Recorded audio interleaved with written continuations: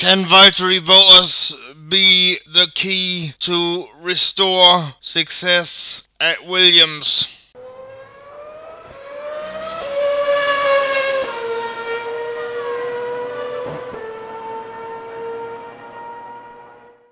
Now we all know that um, Valtteri, Valtteri Bottas has had quite a lot of success at Mercedes, but we also know that um, it's more than likely that um, Valtteri Bottas um, will be replaced by um, George Russell. In 2021. I want to give you a quote from um, Toto Wolff about George Russell, and then I will give you a quote from Claire Claire Williams about um, Valtteri Bottas um, what she said um, when Valtteri left the team. Toto Wolff said about George Russell, he said, because you're being put in a in a car that is able to win races and championships, a high pressure environment, I think it can be it can go terribly wrong for a young driver that has the talent to become a world champion if if he's thrown into the environment next to the best driver of his generation who has been with us for seven years and I wouldn't want to burn George. I think I think it could come too early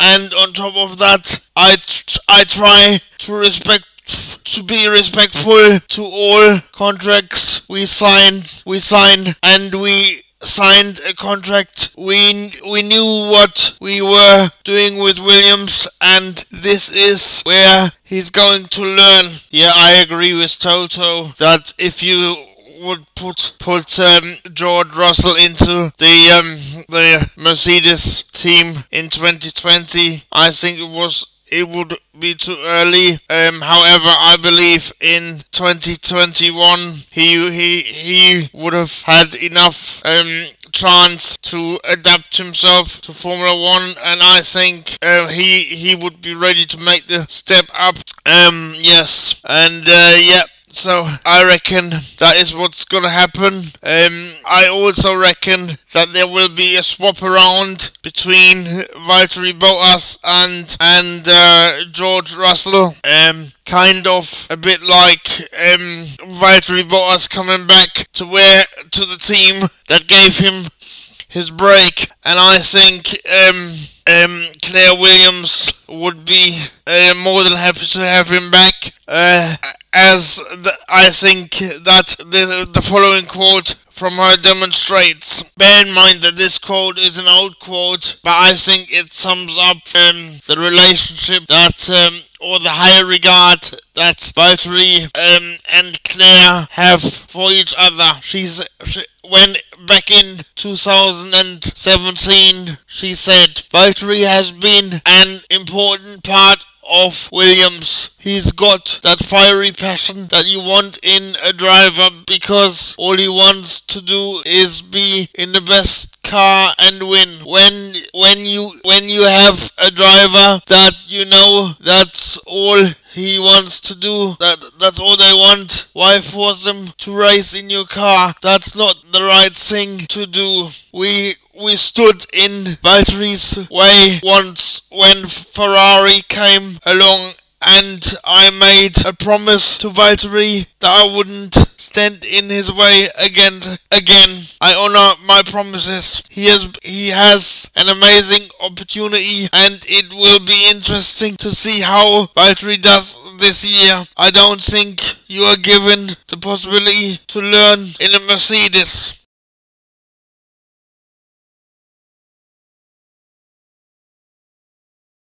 Because he has got the tenacity, he's got the knowledge, and he wants to help out Williams, I do believe. And uh, also, I think he wants to help Williams um, get back to top. Um, and also, I think because he's a loyal person, and I think he he re remembers the promise that um, Claire made to him.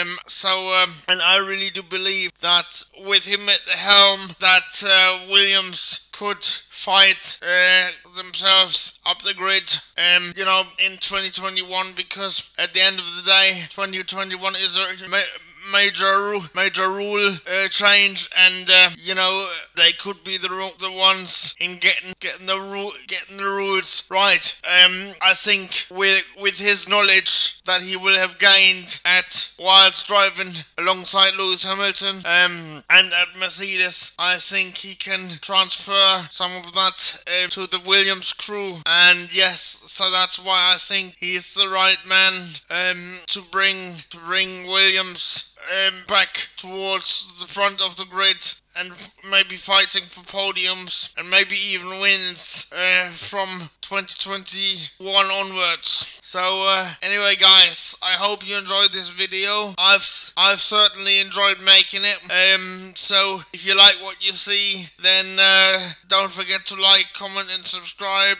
Um, and um, I shall see you very soon. Cheers for watching. Bye, guys. Bye.